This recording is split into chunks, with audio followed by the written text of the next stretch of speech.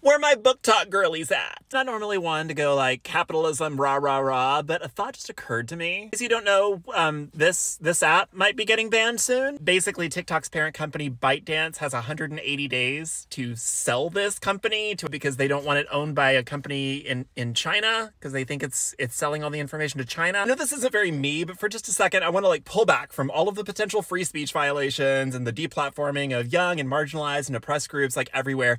I ask a, a question. Why are publishers not freaking out about this more? So just in case you don't know, BookTok has been basically like a license to print money and a, and a huge lifeline for publishers, large and small, ever since its inception. Like it really cannot be overstated how big a deal BookTok has been to publishing. Think about what would have happened to the publishing landscape in the last few years if BookTok hadn't existed during that time. Like we wouldn't have known about Song of Achilles. Song of Achilles came out like a decade before it got really popular here on BookTok. And and it's not alone. BookTok has been amazing for all sorts of authors, independent authors, traditionally published authors, marginalized voices, queer voices, like all, sorts of voices that wouldn't normally have a seat at the table or a, or a chance to be seen by such a wide audience. It is no secret that publishing is really shit when it comes to marketing. The only people who have any real backing from publishers are the people with like massive book deals. And even they are kind of at the whims of the algorithm. I'm not normally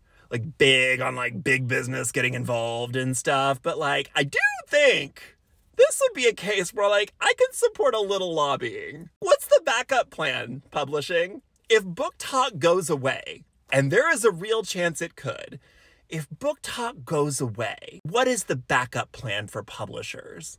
Because it's not, it's, it's, there's just, there's really nothing else right now that's doing for publishing like what BookTok is doing for publishing. So I just, I just want to know.